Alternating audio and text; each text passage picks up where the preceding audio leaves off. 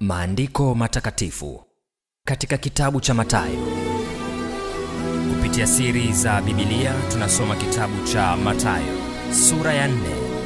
Mimi ni Innocent Mashauri.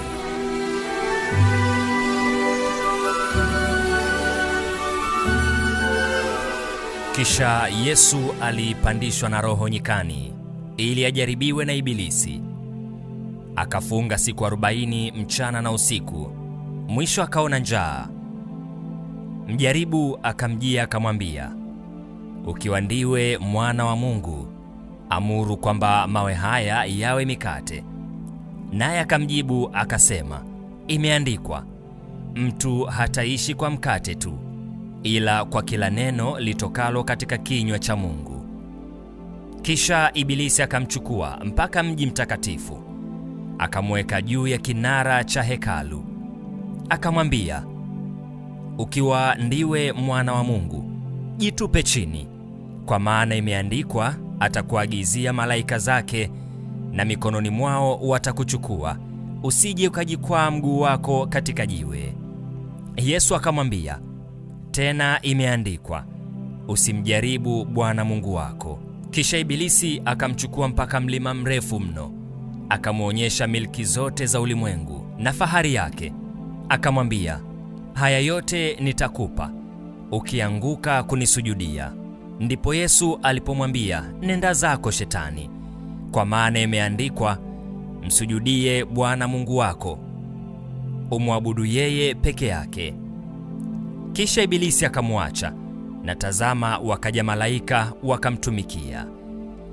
Bwana Yesu aliposikia ya kwamba Yohana amefungwa, alikwenda zake mpaka Galilaya. Akatoka Nazareti akaja akakaa Kapernaumu, mji ulioko pwani mpakani mwa Zabuloni na Naftali, ili litimie neno lililonenwa na nabii Isaya akisema, nchi ya Zabuloni na nchi ya Naftali, njia ya bahari, ng'ambo ya Yordani, Galilaya ya mataifa.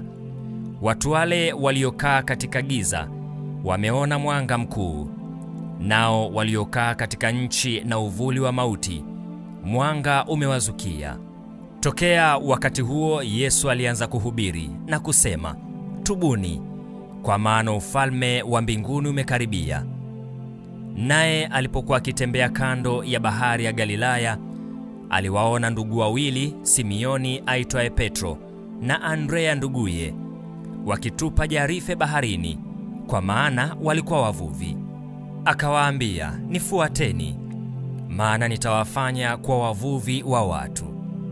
Mara wakaziacha nyavu zao wakamfuata.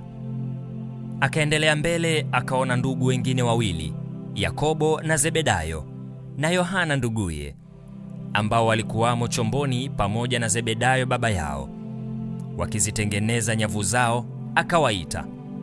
Mara wakakiacha chombo cha baba yao wakamfuata.